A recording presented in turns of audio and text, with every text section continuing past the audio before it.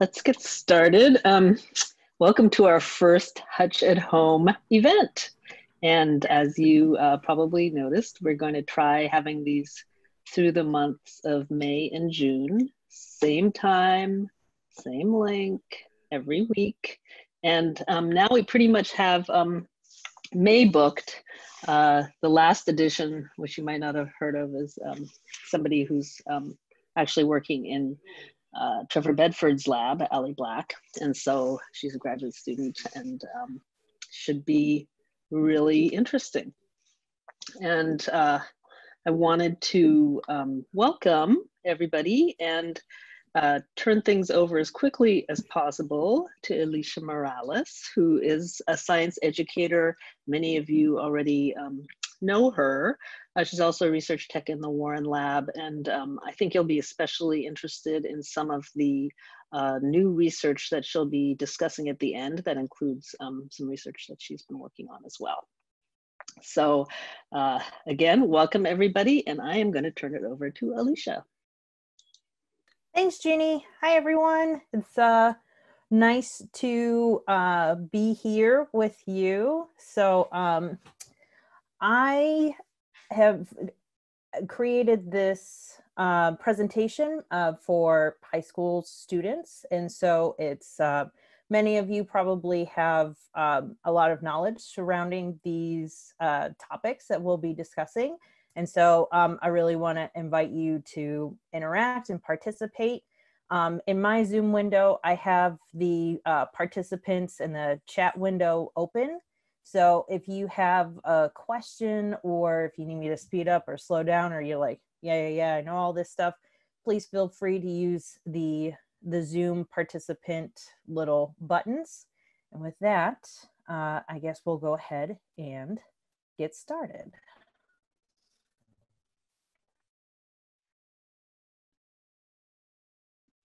All right. So this is um, Immunology 101, a crash course on the immune system and immunotherapies. So we will be looking at um, a kind of a very uh, broad view of immunology uh, and kind of the some of the newer technologies in immunotherapy. So hi, uh, I'm Alicia Morales, as Jeannie mentioned. That's me, that's my professional headshot. Um, like Jeannie said, I am a uh, technician in the Warren Lab.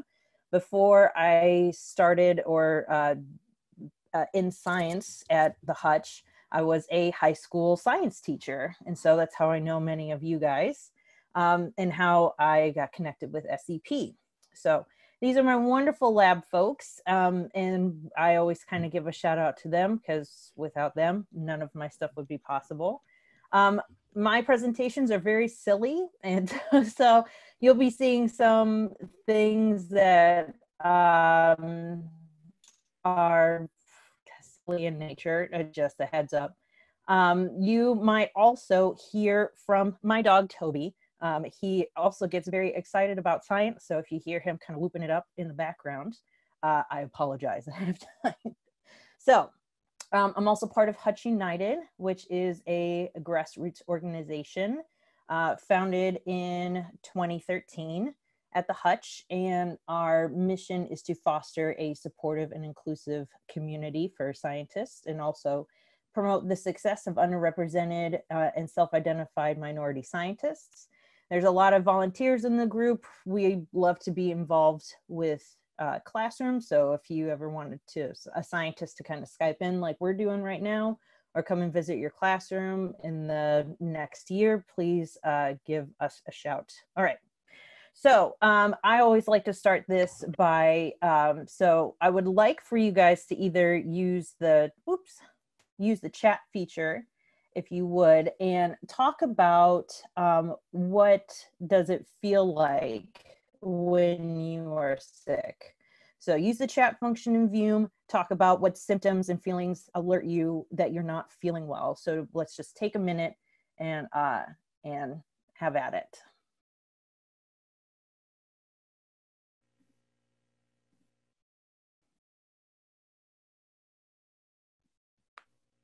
Excellent. So I'm seeing, I feel like my life is a wreck. Um, oh, headache, tired, super tired, lots of tired, loss of appetite, high temperature, headaches, fever, ringing in the ears, sore throat, runny nose, low energy. Existential, I can't think straight. Chills, trouble sleeping. Yeah, you smell differently. That's a good one. Tired and lazy. Very good. Crabby. Can't taste. Yeah, when you're all congested and stuff like that. Excellent. Excellent job. So, yeah. So when you're sick, you your body you definitely notice the changes. You um, uh, there's a high fever, you get chills, you're achy, you're lethargic. There's a lot of things that alert you that uh, tell you that something's not wrong or something's not right in your system. And so a lot of that has to do with uh, the fight that your immune system uh, does whenever you have an invading pathogen. So, um, usually when I ask, like, what do you know about the immune system? A lot of times, what I hear is our immune system keeps us from getting sick, or when we do get sick, our immune system is what makes us feel better. But uh, I would say for like 90% of the population, that's pretty much all that they think the immune system does. But the immune system does so much more than that. So I like to borrow heavily from a company called Kurzgesagt, uh, which means in a nutshell in German. I probably butchered it, but you'll be seeing a lot of their pictures, and I've included uh, links to these particular videos that I reference uh, at the end of this presentation. But the immune system does many, many jobs. So uh, they communicate with each other, they can cause inflammation, activate other cells, produce antibodies. Um, and the cells in the immune system do multiple jobs. So, for example, here's a little macrophage, which is um, one of the guards of the immune system.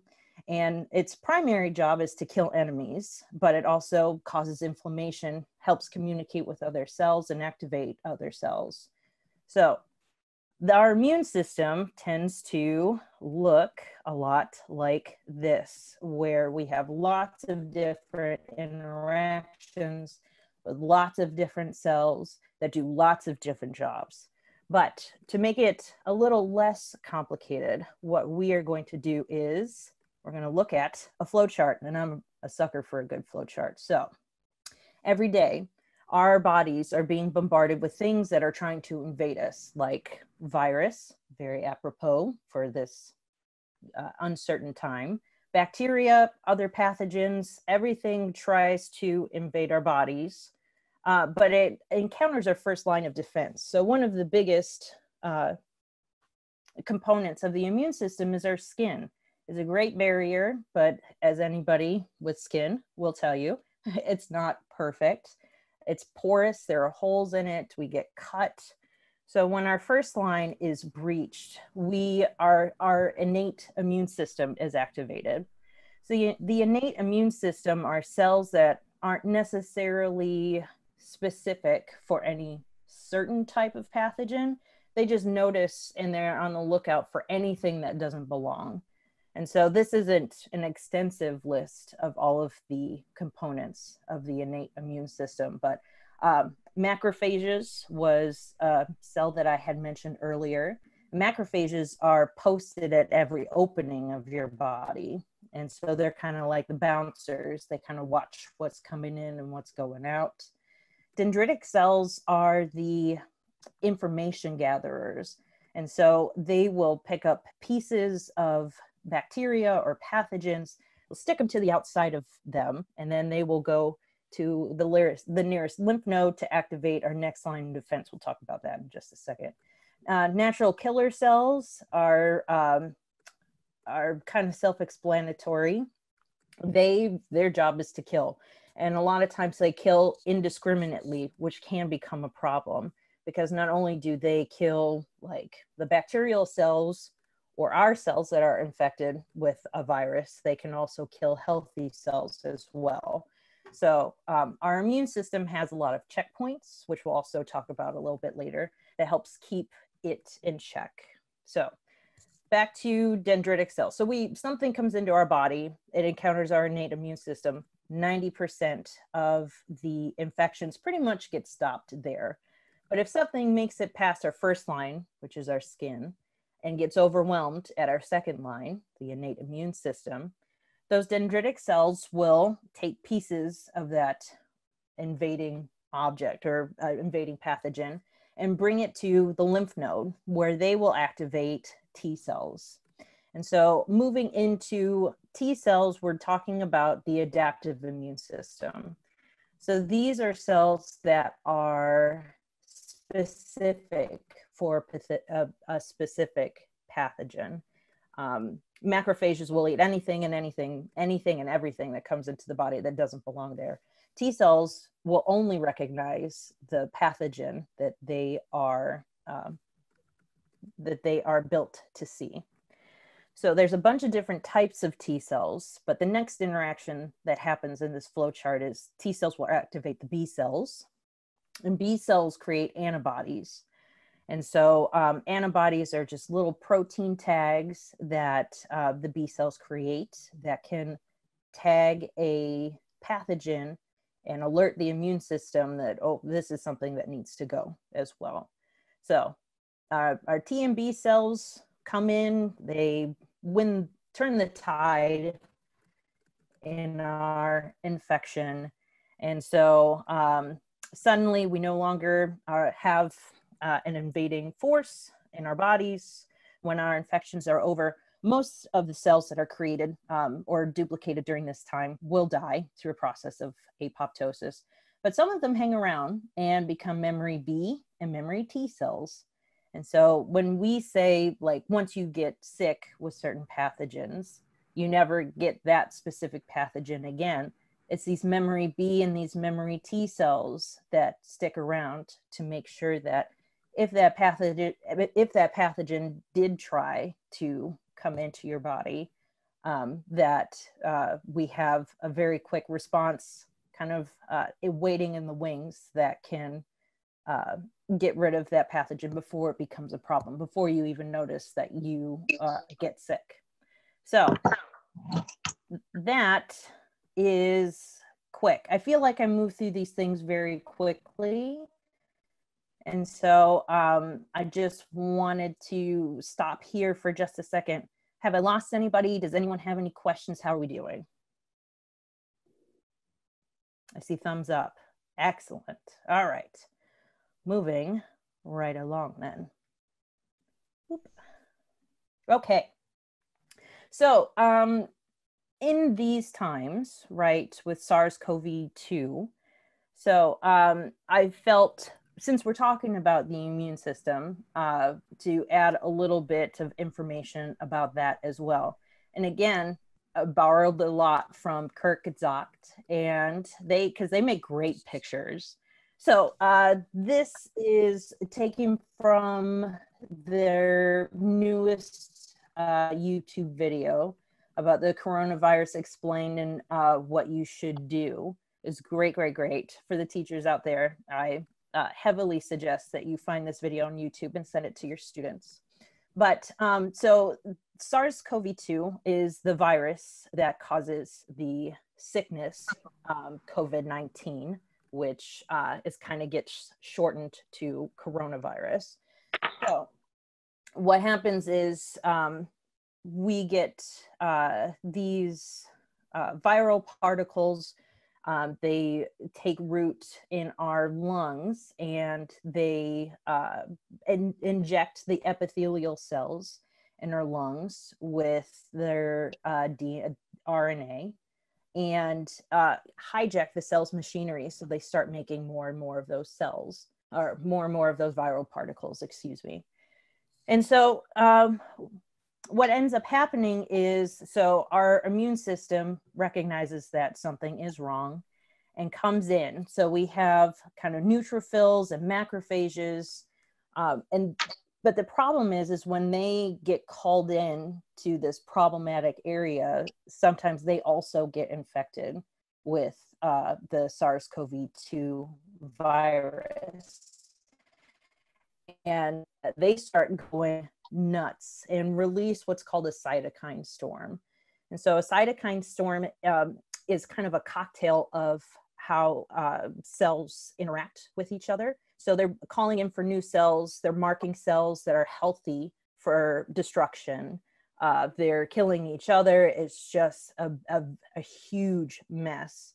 And when your immune system starts to go haywire, like your immune system is supposed to be offering this protective support for your lungs and is supposed to be getting rid of of all of these viruses. And so when things go haywire, uh, a lot of times uh, that's where we start to see like a lot of secondary infections come in, like pneumonia and whatnot. And it's just uh, one of the reasons why this particular virus is so lethal. So um, this, I, I, just wanted to kind of take a quick um, diversion uh, to talk a little bit about this. I'm not um, I'm not a, a virologist or uh, very well versed in what's going on with a lot of the SARS-CoV-2 research. Um, the Hutch is doing a lot on it. I uh, suggest uh, checking out Trevor Bedford's lab or uh, NextStrain um, to get some information about uh, kind of the movement of SARS-CoV-2 um, but uh, it does touch a little bit about on the immune system. And so I thought it would be appropriate to add that in here. But getting back to the immune system and cancer cells. So not only do does your immune system uh, recognize when uh, our cells are sick, they can also recognize cancer cells and they can kill them. So I like to describe this interaction uh, as a secret handshake. So if you've ever had a secret handshake with your friends, like you know that there's a certain way that you, the two of you connect that helps you recognize each other, right? I'm hoping you all have had secret handshakes before. Um, so, in just normal interactions between T cells and healthy cells, this is one of the ways that our cells can recognize self. Um, and here we have a little picture that makes it a little bit more scientific than a, a fun GIF. Um, so we have our T cells, they can they have receptors where they can recognize self um, and, and, and receptors where they can recognize non-self things. Mm-hmm. And we'll talk a little bit about that in just a second. Um, they can also recognize when a cell is sick. So, um, and when we mean by that, like when a cell has uh, becomes cancerous, cells will start to produce tumor antigens on the outside of their cells. Um, like so, taking it back to uh, the central dogma, right? DNA, RNA, proteins.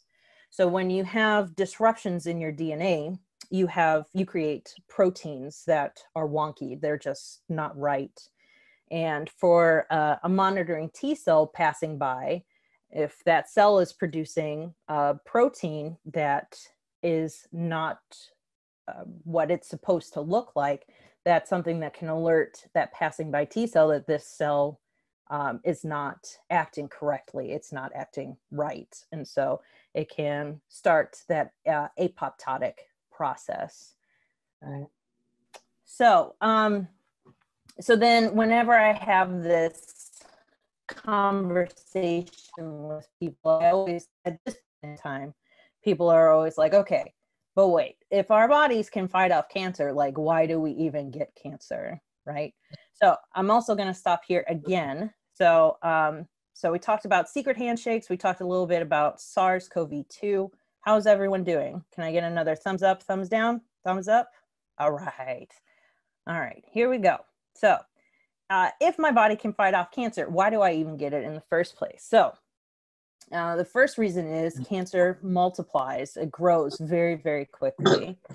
And so um, earlier I kind of showed you a flow chart between uh, like the start of an infection and the very mm-hmm. end of an infection. Yeah.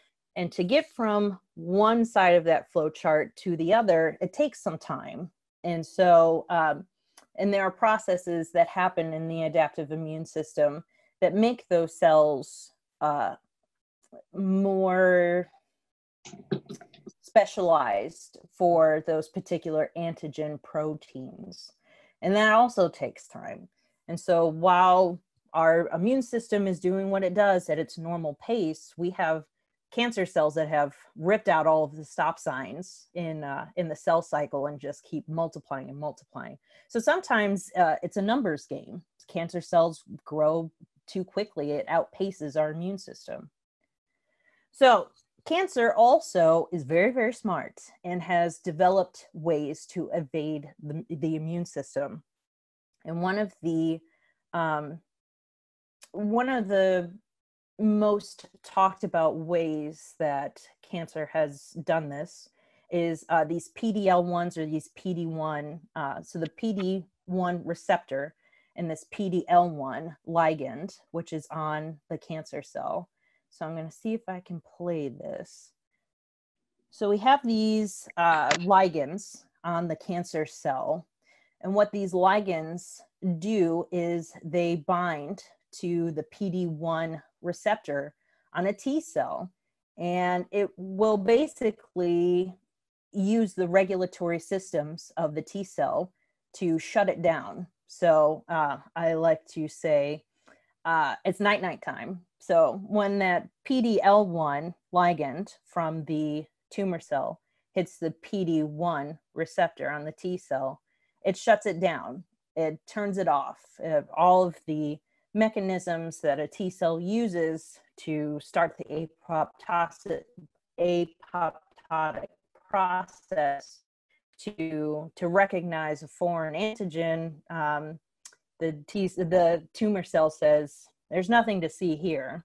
I'm going to move you right along." It's very very crafty the way that cancers do this.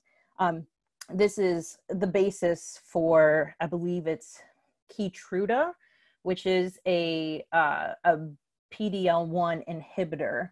So uh, this these interactions are ways that we have developed some immunotherapies uh, to help T cells fight cancers. But we'll talk a little bit more about that later. I'm getting ahead of myself because I just think it's so cool. Um, cancer can evolve. So um, as we go through the cell cycle and we are creating more and more and more cells, uh, at a pace that uh, is super quick, we have a lot of chance for errors, and those errors can uh, lead to uh, new advantages for cancer cells. And so, a lot of times, uh, our bodies can't keep up with shifting targets. Uh, and that's also um, a problem for some immunotherapies. And we'll talk about, again, talk about that a little bit later.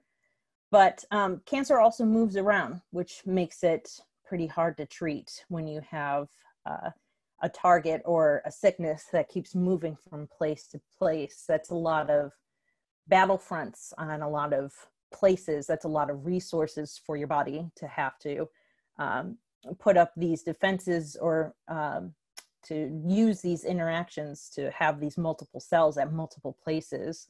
Uh, it's it's just it can overwhelm the immune system. So even though our immune system is fully primed and able to get rid of cancer cells, sometimes uh, we uh, cancer has developed these ways of getting around uh, the efficiency of the adaptive immune system.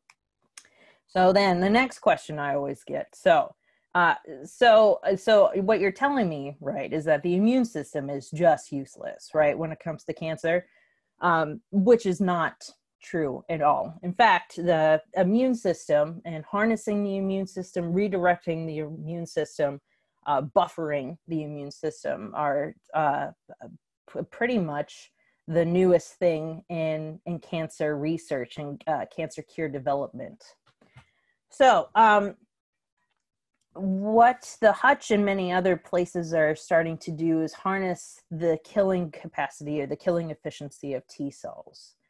So, uh, and this comes in many different flavors of uh, T cell therapies. And the Hutch uh, pretty much does them all. So we have some pioneers at the Hutch.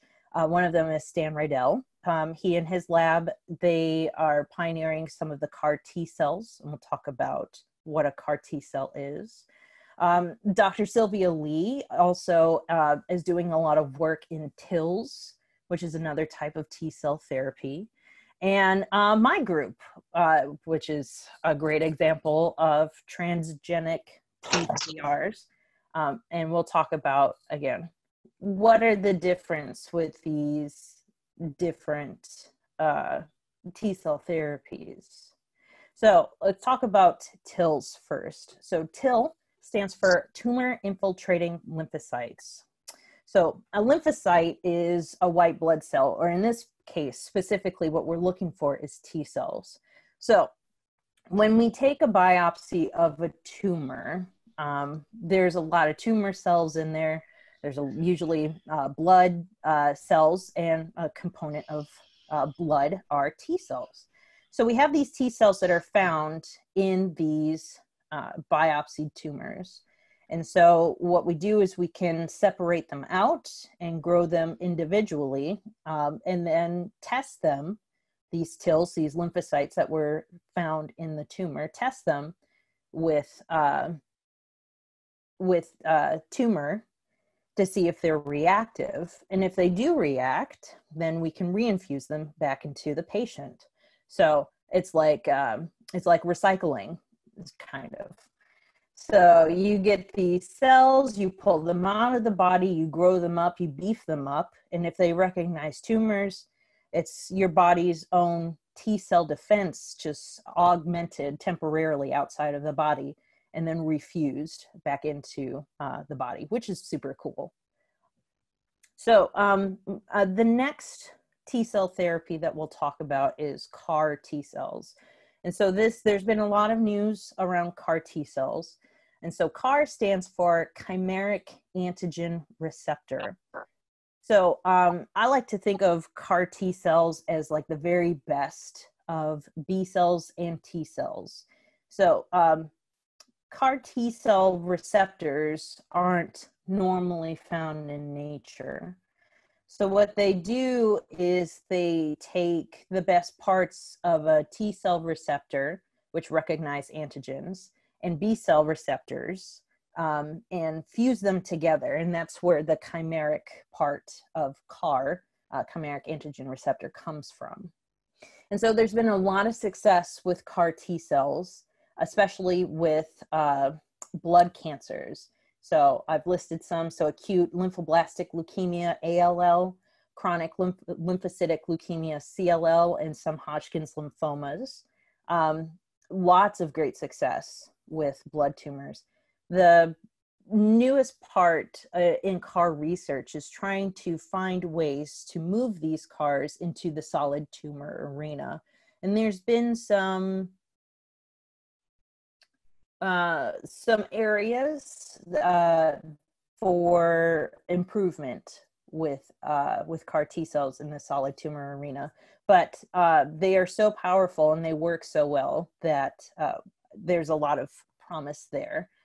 So, uh, last but not least, these are my favorite because this is part of my uh, project in the lab. So, transgenic TCRs. So, transgenic means that we are infusing new genes into a T cell.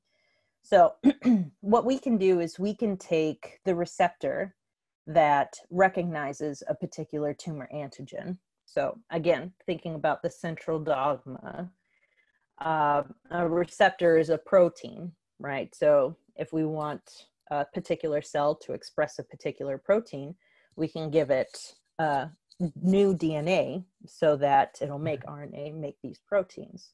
So, we take the genetic code from these tumor recognizing T cells and we can put them into healthy T cells that see all sorts of stuff and pretty and effectively redirect those uh, normal T cells to become tumor recognizing. So, and we give them a new receptor that sees that cancer because uh, if if they don't have that receptor, those T cells, those powerful weapons, they don't they don't see those cancers, they can't work to to uh, clear that tumor. And so this is um, a, a part where we are starting to see the use of CRISPR technologies, which is super cool. Um, mm-hmm. My lab is starting to play around with this, where we can knock out the old receptor and knock in uh, the new one. So it's uh, a bait and switch, if you will. Uh, and uh, this gets rid of some of the uh, this gets rid of the old T cell receptor that's on the cell because when you give the new TCR to, or the new DNA to the uh, to the white blood cells to the T cell, they still have that old receptor on there, and so mm-hmm. there's potential problems. We don't know what that old receptor recognizes. It could be um, it could be a, a self antigen, and that would be awful to uh, grow a, um, a multiply multiple cells that see a self antigen end up giving somebody uh, a, a, large problem.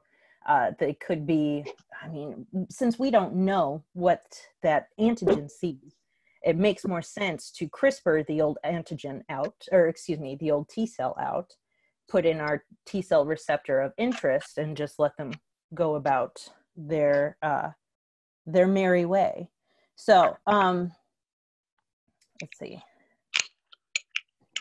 So, um, those are T cell therapies. Uh, I know um, I kind of gave like a 30,000 foot view um, of all the different flavors of T cell therapy. Let me go back a little bit. Are there any questions? How are we doing so far? Up, down? Okay. I am monitoring the chat, so if you have questions, please type them in there. Um, so, um, how are we doing? Oh man, I'm going so fast. So, um, there are other ways that we can boost the immune system. So, um, T cell therapies are kind of the hot and cool thing um, in immunotherapies for cancers. But there are other immunotherapies that um, we can use to boost the immune system.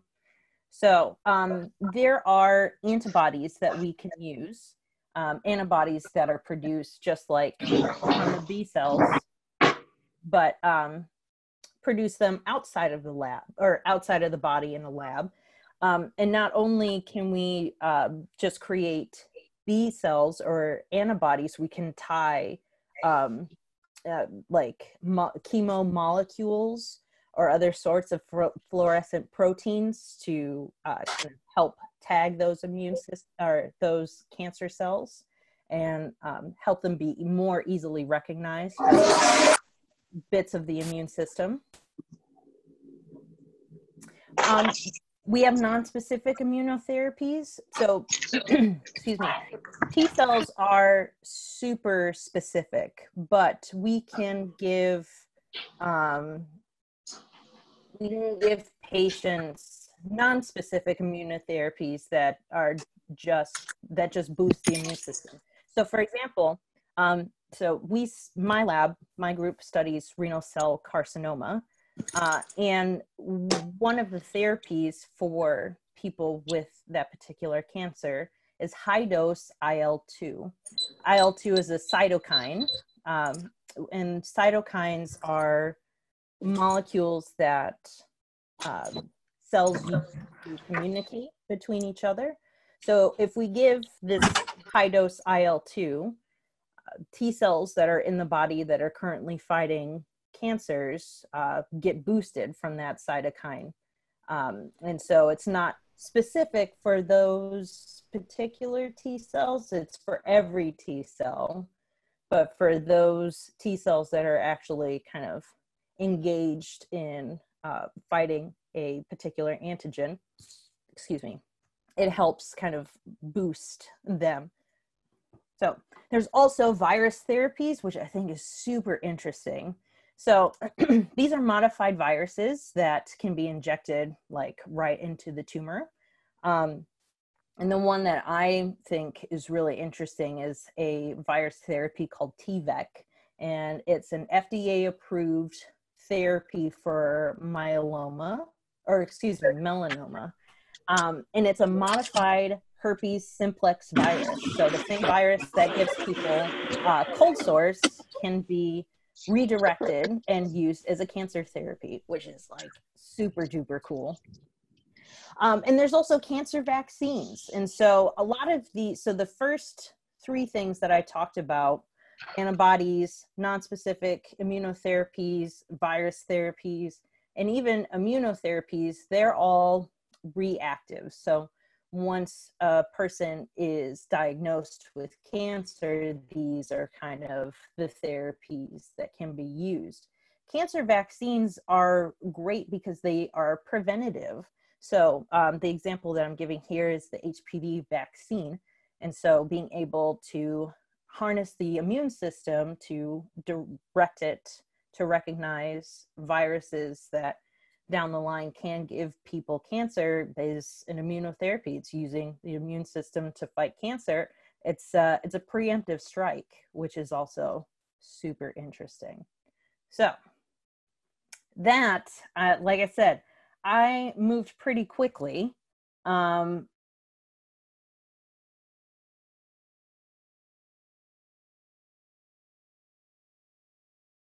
see a couple of questions. Um, so the first one, does your lab ever allow high school student interns? So my lab um, does not uh, usually allow interns for long periods of time um, because there are a lot of things in our labs that uh, minors should not be around. We also do a lot of HIV. Um, we work with samples that have high viral loads of HIV. Um, and so my lab isn't approved for having minors like for long periods of time, but for like uh, shadowing for a day, yes, um, we do allow that. Um, and then so the next question was, so how do you know which segments to edit with CRISPR to knock out the old receptors? Which is a great question. So um, T cell receptors have uh, mm, defined beginning and end points. So the stuff in the middle is all uh, variable, and that variability um, comes from a couple of different ways. So we have many, many genes in our genomes that uh, can be kind of cut and pasted to make T cell receptors. And then as you are making them, there's a little bit of variability um, with uh, the addition of some point mutations, but we get these this beautiful combinatorial diversity with uh, these genes um, in between two very, very well-defined sections. And so what we can do is we can um, make guide RNAs. So um, I'm just going to give a quick overview of CRISPR. So um, if you want to cut out a gene, what you do is you have these guide RNAs, right? So this is, I don't know if you guys can actually even see me, but um, you have your DNA, right? And at the very end of the gene segment, you make guide RNAs um, that would sit at that particular point of the DNA. And that guide RNA tells the, the CRISPR Cas9, the actual uh, enzyme that does the cutting, here's where you need to cut, here and here. So the guide RNAs say to cut here and here. And then what you do is you have another template, your template of the, for my particular case, you have the template of the, uh, the new TCR that you want to add in there. Um, and so you you add in the those little pieces of DNA and some DNA repair enzymes, and you CRISPR in that new so knock in and knock out. You put in the new TCR. So um, uh, it's so getting back to the original question how do you know which segments to to edit out so you make guide RNAs for those constant regions that kind of flank either side of the T cell receptor where the receptor uh, genes are at. I hope that answers your question, Eric. All right. So um, I talked for a bit and I, I always get super excited about these things. So I feel like I go very, very quickly. So if you have any questions, uh, feel free to put them in the chat window, or if you uh, just feel like sharing or whatever, feel free to talk because uh, because I just want to hear your voices. More about your um, research with the um, with your you know modified T cell transgenic T cell receptors and what diseases are you working with and what does that you know what does that entail from beginning to end uh, in order to try to think about turning that into a therapy? Okay, so um, the story of my project starts um, back in uh, the early 2000s with one of the clinicians that used to work in my lab. He's now an associate member. Scott Tykody is a uh, is a cancer, it's a kidney cancer doctor, and what he thought and what he saw in the literature is a particular gene that got turned on in cancer cells uh, that shouldn't be turned on. So the gene produces a protein called 5T4, and this gene usually gets turned on when we are um, multi like uh, like before we're even fetuses when we're just cells dividing at the development stage. Um, and so this protein turns on to to keep these cells kind of cohesive so you don't you know float away uh, and so this gene aberrantly turns on for um, a, almost all of these particular uh, for all of these particular cancer cases. Um, it also turns on in a couple of different um, different cancers. Like for some breast cancer tumors, this is a gene that aberrantly turns on as well. But so my kidney cancers uh, express this protein. And so Scott said to himself, I wonder if there are T cells in the blood that recognize this particular protein. And so he essentially went fishing.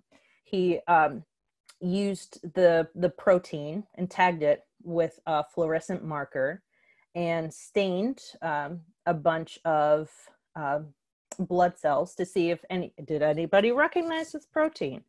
Uh, and if so, uh, he sorted them out. And so he found these T cells in a couple of cancer patients and also some normal donors that recognize this particular protein.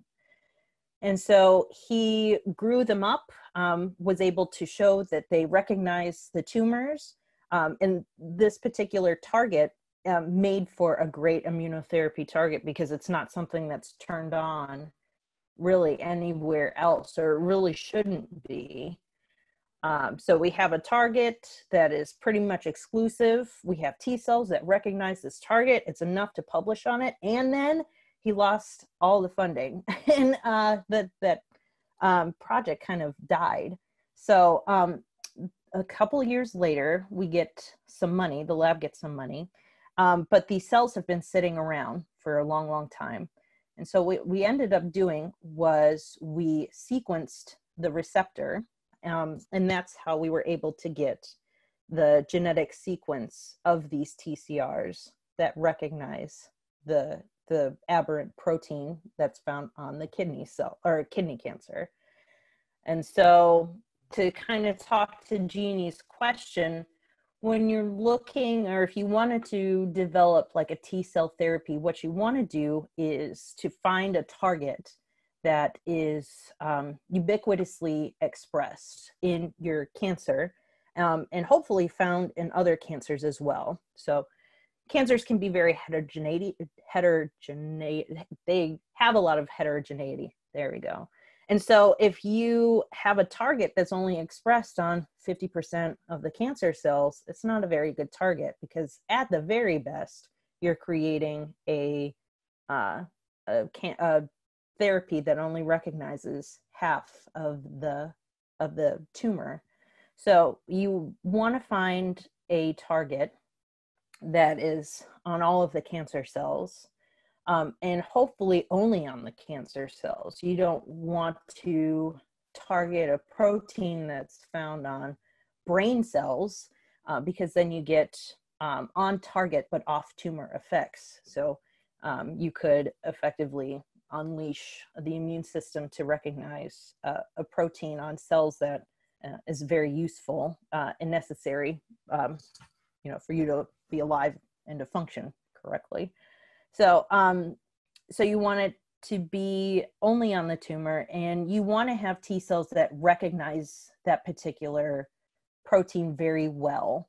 So there are degrees of affinity um, that a T cell can have for a particular target. Um, I like to think of it as like uh, like pizza. Like there are like um, I love pizza and I will eat almost any pizza. Um, I have a high affinity for it. Uh, it doesn't necessarily matter what configuration it is. I will I will eat it whenever, unless it's pineapple on pizza. That's weird. Now, but speaking of pineapple, I only like pineapple uh, fresh. I can't eat it from a can. It's weird. I have a very specific tolerance for pineapple. T cells are the same way. So some T cells can have a very specific affinity where if it's a protein that's only in one particular configuration, that's the only way that it can be recognized. Some T cells have a little bit of wiggle room where uh, yeah, I can see that protein. If the protein changes a little bit, uh, it's mm, it doesn't really matter. It still kind of recognizes it. So you want to have uh, a T cell that's just like laser focused on that particular protein, uh, because if you release something that's not not super specific, you could get some off-target effects. It might not bind very well, like when it actually gets into the tumor environment. So, um, so you want to, so going over it again, you want to have uh, a T cell that has a, a target that's only on the cancer that's found on all of the bits of cancer and that recognizes it really well. And so that's what Scott had um, in the original. Getting back to my story, that's what we have is um, the the genetic code for those particular T cells that recognize that antigen really well and I feel like I kind of answered that question. uh, that was a, a, long and it's uh, a long-winded kind of answer. Where are you in the process now? So we have published. Um, you can. I am a published author, so you can you can actually uh, look up our paper um, where you can see the affinity the of of the T cells. Um, and what we would like to do is to go into phase one trials. Um, that takes a lot of money, so uh, we we haven't gone in there yet. We are exploring other options. Um, the next phase in our lab is we're looking at recapitulating the tumor environment uh, through what we call uh, RCC on a chip. So making little tumor spheroids and putting it in a collagen matrix to kind of mimic what the tumor environment would look like. And so challenging the T cells uh, to, to kill tumors in that environment. So uh, that's kind of the next step. So um, I, I want to answer these questions. So uh, let's see. Hey, Marcy. Um, is there a way to increase the amount of antigens on the surface of a cancer cell to maximize success? So uh, that's a great question. And that is something that a lot of people are exploring through uh, the use of uh, vaccinia viruses. So another viral protein or another viral immunotherapy to put into cancers to kind of have them upregulate those targets. Um, so you, that's not something my lab is particularly working on, but I do know that is an area of research in other labs. It's a great question. So um, from Kay, with the different types of T cell therapy, do you expect that one will turn out to be best overall, or do you think each method will be good for different types of cancers? Oh, that's another great question. Um, I personally think uh, that it will be um, a different that each therapy will have their own successes. So, like uh, getting back to the CAR T cells, they are super great for blood cancers, not so great for solid tumors.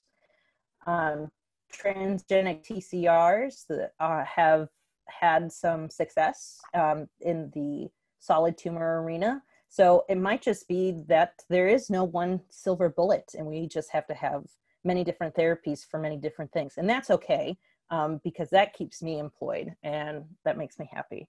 So, from Jonathan, would you would downregulation be an issue with TCR when the old receptor is knocked out? Possibly, yes. And um, we are finding that when you knock out the endogenous or the original TCR, the T cells aren't super happy.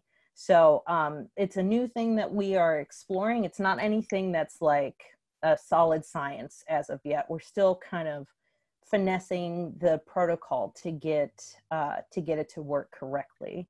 So um, that's a gr- another great question. So um, Hanako says, if you have some time, please fill out the short feedback survey. Um, same one on the slide. We'll make sure this series is helpful for you all. Yes. And is it possible to get a link to that paper? Absolutely. Um, I will send it to Jeannie. And um, if you all are interested, uh, Jeannie, I hope you don't mind. I just kind of volunteered you to. No, that's great. Yeah. Congratulations. Thank you. Thank you. Um, it was pretty cool. So um, let's see. Um, I can also send out these slides if you feel like you would like to send them to your students or um, I also, like I said, have um, the particular videos um, and some fun comics. So this is the immune system overview and um, the coronavirus video. And you can find them on YouTube, uh, Kurt Gitzog, they're great. And then um, I'll open the floor again to for more questions. But before I run out of time, I want to do a quick plug for upcoming events. So, uh, like Jeannie said, um, you can tune in same time, same bat time, same bat channel every Tuesday, um, and you can hear from awesome uh, researchers about the cool science that they are doing.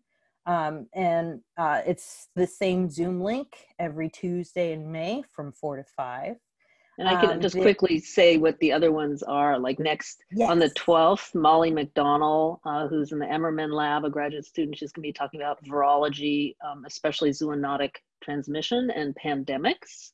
Um, and then we have Allie Black on the 19th, who will um, be talking about some of her computational biology research in the Bedford lab. And then on the 26th, Nina Salama, who's um, a professor at uh, Fred Hutch, she'll be talking about her work with Helicobacter pylori and specifically can bacteria cause cancer. So that's our lineup for the rest of May. It looks really great. And we already are having some uh, people filling in for June. So I'll let you know about those as well shortly.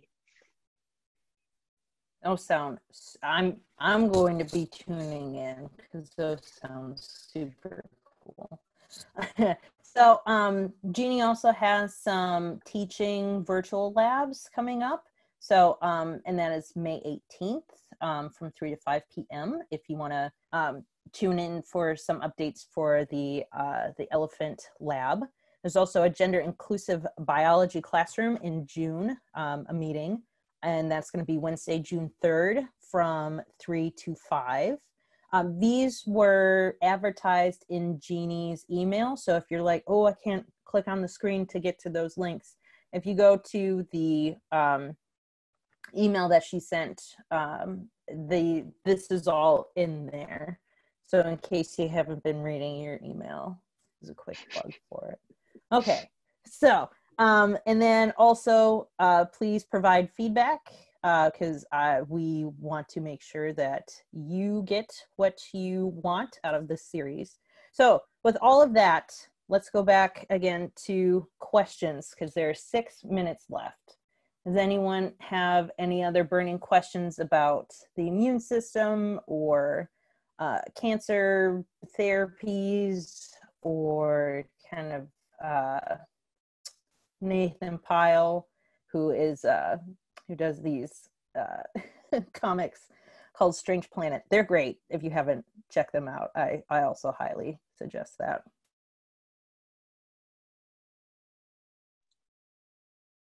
Yeah, we have time for uh, maybe one more question, one or two more questions. What else are you wondering about? And feel free to unmute yourself if you'd like to just ask. Mm.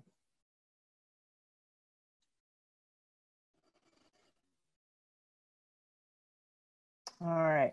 So, um, so Mercy. So, how uh, how does genetic play a role in the immune system and can- cancer interactions? Um, like uh, that is kind of like the um, quintessential question, right? So, um, everything starts with DNA. So, from how T cells are built to uh, the proteins that they recognize on cells, it all starts with the DNA. And so um, you can have specific genes that can make you more susceptible to developing cancers. Uh, you can have genes, we all have genes that protect us from developing cancers that um, get mutations in them down the road. And so uh, I wish that there was a succinct way to talk about how genetics play a role um, with the immune system cancer interactions. It's a big question. Unfortunately, I don't think I have time for that, but I can email you about it. Um, so, which specific cells of the immune system kill?